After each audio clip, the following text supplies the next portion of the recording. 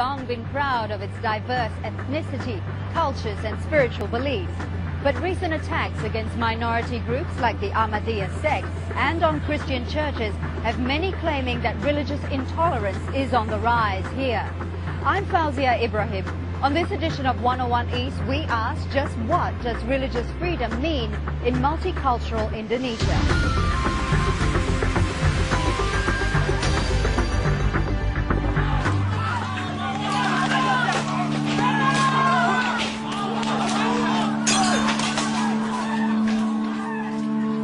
Outnumbered, police stand by as a mob attacks homes in Banten, West Java, Indonesia. They belong to Ahmadiyya, a sect who say they are Muslims, but who believe their founder was the final prophet rather than Muhammad. It's a belief that's deeply offensive to the vast majority of Indonesia's 209 million Muslims. But this amateur video showing the crowd stripping three Ahmadiyya men naked, stoning and beating them to death has shocked the nation. It is too gruesome to show here.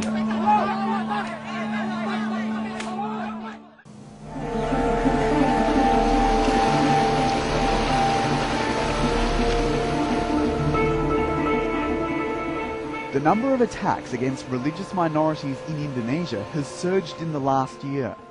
As a result, Ahmadiyya followers in Lombok are to be forcibly moved to this almost deserted island nearby. A move the provincial government say is for their own safety. For Khairuddin, it's the first time he's seen his potential new home. Menurut saya terutama bagus lah. I think the island looks comfortable. Bagus, nyaman juga udara. The air is fresh and I don't mind living here as long as facilities such as electricity and school is provided and safety as well. I'm excited. Misalnya bupati, ini ada sudah di ACC, sudah disetujui oleh bupati. Every moment is recorded for 200 SEC members back home. Misalnya sarana perumahan juga sama dengan warga Ahmadiyah. The island's sole resident, whose job is to guard the palm trees, tells them on camera he's not happy with Ahmadiyya moving here. Aman-aman aja di sini. But these men have no home. In 2006, they were forced to abandon this village in Lombok when a neighbouring community forced them out. When some Ahmadiyya members tried to return late last year, their houses were looted. The movement's regional head says such incidents are rarely investigated. Authorities haven't arrested any perpetrators of the attacks, and they don't actively try to solve the case. We had to report to the police station directly to get them to pursue the case. This shows authorities' lack of support and commitment to enforce the law. Mungkinkah kau masih mengharapkanku? 22 Ahmadiyya families now live in this shelter in Lombok's capital, Mataram. Young and old crammed together in fetid makeshift tents. tangis sedih tersimpan dalam hati. Khairuddin says many here have been denied citizenship cards, which makes it hard for some children in the shelter to access Indonesia's education and health services. Ya kalau kita ini secara jasmani. To be honest, we don't like living here. But since this is a matter of defending our faith and beliefs, then we have to accept the conditions. We are forced to accept it. The district head acknowledges his idea to move Ahmadiyya followers onto an island 60 kilometres away from Lombok is contentious, but says it's in their best interests. kita tidak memberikan solusi menyangkut juga hak asasi. Perhaps the relocation solution could be seen as a violation of human rights, but for the local government it's a good solution. Why they're being isolated is because characteristically they're keen on an exclusive system of society. Harmony is a selling point for an island trying to be a tourist mecca like neighbouring Bali. Zaini Arony says Ahmadiyya's exclusive and elitist approach to their faith triggers suspicion amongst mainstream Muslims. Nah, ini secara kemanusiaan kan It's affecting human beings in a harmful way. I do hope the central government would give a firm policy on a national level whether Ahmadiyya is allowed in Indonesia, because the ones who are directly facing the issues are the villagers and local government. This is the problem. The Indonesian government's Religious Affairs Ministry issued a decree in 2008 banning Ahmadiyya from publicly practicing and spreading their faith.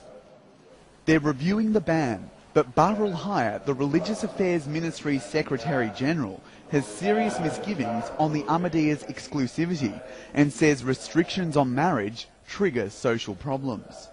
They have to be more open. There are some restrictions that uh, given by Ahmadis to other Muslim followers, like the use of masjid. All masjid in Indonesia is open only Muslims. But the marriage system is restriction for only Ahmadis. Uh, women, uh, Ahmadis women only want to be married by by uh, Ahmadis men. So this is some, some problem in terms of social interaction.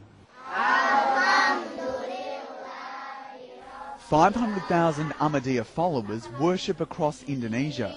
Their detractors say they could have full religious freedom if they concede they are not true Muslims. But Indonesia's Ahmadiyya leaders maintain they are. Juga kami mengatakan bahwa kami melaksanakan rukun Islam The basic essence of Islamic conversion vows.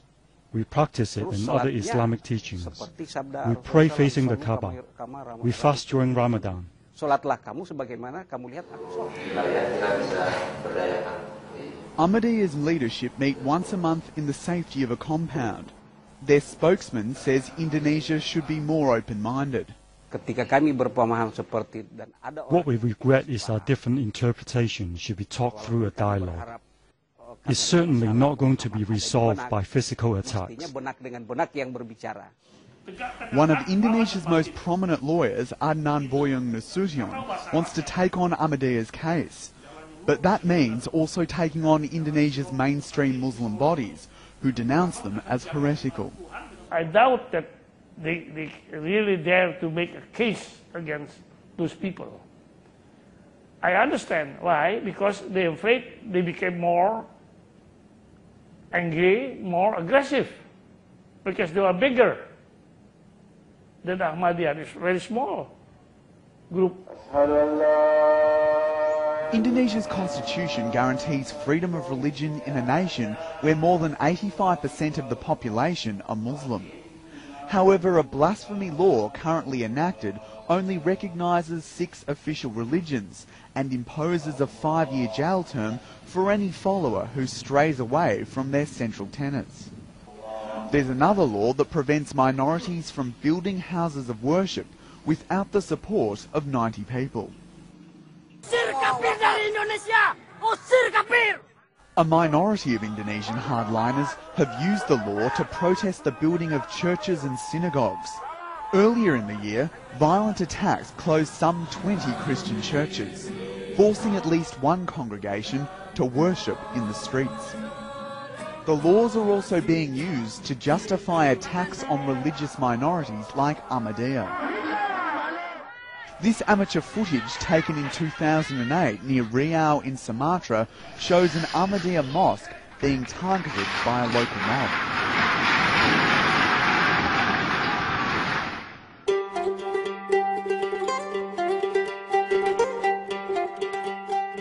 High in West Java's hinterland, larger Ahmadiyya strongholds have also been under attack. Scorched floors and burnt Korans remind the village head Mubarak Ahmed of last September's attack on the mosque, madrasa and surrounding houses. Melempar bukan hanya dengan batu, They didn't only throw stones, but also Molotov cocktails, causing the mosque to burn. The carpet was burned. The young people tried to put out the fire and mistakenly thought to fight back. Then the attackers ran away and one person got stabbed.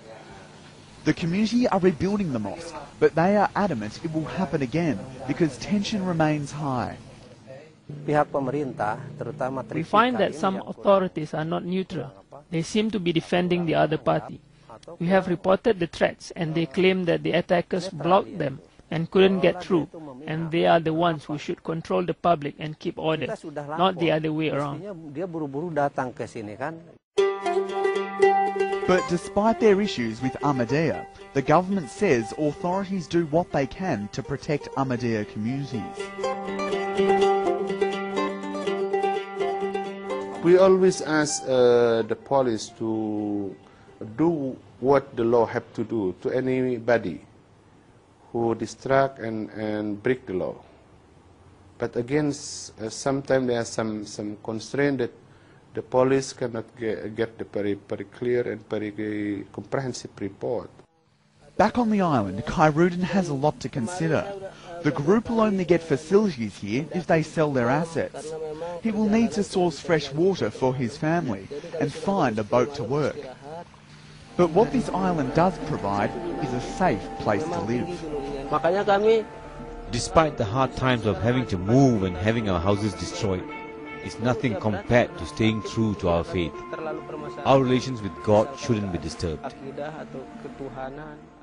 Coming up after the break, we ask if religious intolerance is on the rise here in Indonesia. Stay with 101 East.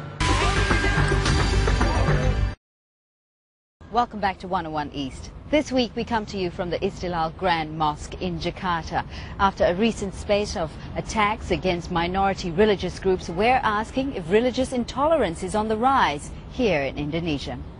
Joining us on the panel now is Muhyiddin Junaidi from the Indonesian Council of Clerics. Yes. Also, Andreas Harsono from Human Rights Watch. Thank you very much for being with us Most today. welcome. Muhyiddin, if I could start with you. Indonesia has been held up as an example of a mainly or a majority Muslim nation that's moderate and embraces diversity and democracy. But does religious freedom actually exist here? Yes, definitely. Right from the time of Indonesian independence, uh, our country has been enjoying religious freedom. As a matter of fact, though we represent majority the Muslim, but we never claim that we are majority, and there is no state religion. Or we have got six recognized religion. It's it's quite different from Malaysia and United Kingdom, for example, where they adopt the system of state religion. This indicates that we enjoy full freedom in this country and we also enjoy religious tolerance. What uh, happened recently, it is indeed just misunderstanding. It has nothing to do with religious freedom in our country. Andreas, would you agree that it's merely a misunderstanding and nothing to do with religious intolerance in Indonesia? I have to admit that it is not. That by design, there are problems in this country. Uh, let me give some figures. Over the last six years, since President Susilo Bambang Yudhoyono in power, there are more than 240 churches being closed down, and some were burned down using violence. And over the last 10 years, there were 10 Ahmadiyya mosques which are also being closed down using violence. Well, let me ask you, why then? Why is this rise of attacks against these minority religious groups? Uh, I think because there are two things. First, there is a rise of fundamentalism worldwide, not only in Indonesia, also in Europe, also in the United States. Uh, secondly, because there is a tolerance, there is a no action against mobs, against people who conduct violence. They're, they are not arrested, they are not investigated, they are not jailed. Muhyiddin. Yes, uh, as a matter of fact, why the churches were closed down? We, the government of Indonesia, have got their own rule and regulation. If any uh, Muslim or any followers of religion wanted to build a house of worship, they have to follow that kind of rule. Uh, for example, our Christian brothers, if they want to build a church, they have to collect at least now 90 persons. In addition to that, they have to get uh, approval from 60 members of the society that can support the plan of the House of Worship as a church. Let me just What stop you there and, and ask Andreas, what do you think of this? I mean, Muhyiddin is saying that this is merely a misunderstanding, that these churches were built illegally. Is that the case? Well, there are some there are some which did not get the legitimate signature, but there are many who got all of the signature, who got all of the permit, but still they are being closed down because of mob attacks.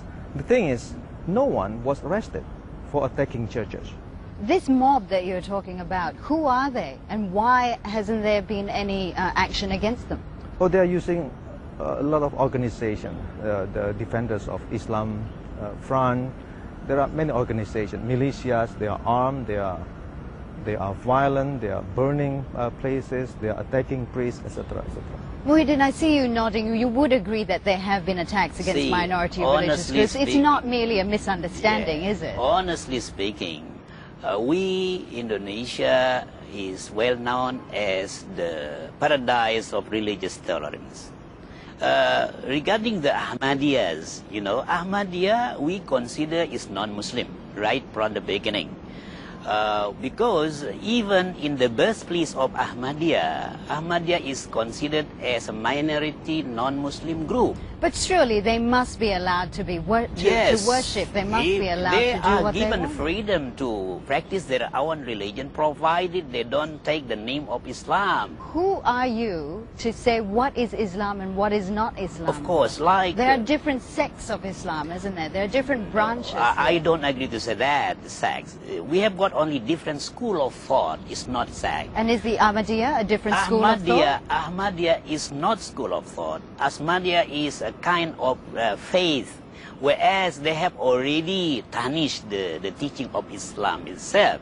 Therefore, we never agree to somebody who claim themselves Muslim, but they violate the teaching of Islam. That's They- you're talking about the Ahmadiyya sect Yes. here, but what about the burning of the mosques? What about attacks against Jewish synagogues? Those, those who burn and attack the house of worship, they deserve to, to be given a punishment by the government. Would you agree with Andreas that there is a rise in fundamentalist Islam here in Indonesia? No, I, I, I, to certain extent, I don't agree with him because he has got a full right to say that. What happened right now, there are so many factors behind the mob and violence. Say, for example, economic factor, political uh, factors, and so forth. So you just cannot blame that because of the group of radical, and I could say those uh, who, who use Islam as the pretext to, to attack somebody. In fact, they have nothing to do with Islam itself. Islam is a, the teaching of uh, peace. The Constitution allows for six main religions here. Not the Constitution. Indonesia. It was only a presidential decree made in 1965 by President Sukarno. And that allows for six main religions here in, in Yes. Indonesia. Is it right that the state be allowed to dictate how people worship and what they worship? I don't think the state should do that. That's why I said that by design, Indonesia is flawed because its constitution says that there is religious freedom. But its president said that there are only six recognized religions. What does it mean? It means that other faiths are considered to be secondary citizens, secondary faith, to be compared with the, the sixth religion. And of course, there are other regulations like the anti-Ahmadiyya June 2008 uh, regulation. There is also this, uh, well, they call it house of worship regulation, but in fact, it only affects the Christian churches or other minority religions. It does not affect when people building a mosque, they don't uh, necessarily take the so many signatures that, that have to be submitted by the neighboring area. Muhyiddin, what is your reply? No. I don't think so. Even we Muslim, if we want to build a mosque, we need to get approval from those who live around the area. See, brother Andreas, uh, if Muslim live in, for example, Bali, Bali Island, where we uh, are minority there, we just cannot build a mosque unless we get uh, approval from the, those people who live in the area. At least we have to follow the rule and regulation. Most Muslims in Indonesia live on the island of Java. 62% live on the island of Java. Uh, but other islands like Borneo, like Sulawesi, like Papua, they are much bigger islands. They are, the native are predominantly Christians. And we heard at least, we rarely heard about mosques being burned, being attacked in those predominantly Christian areas.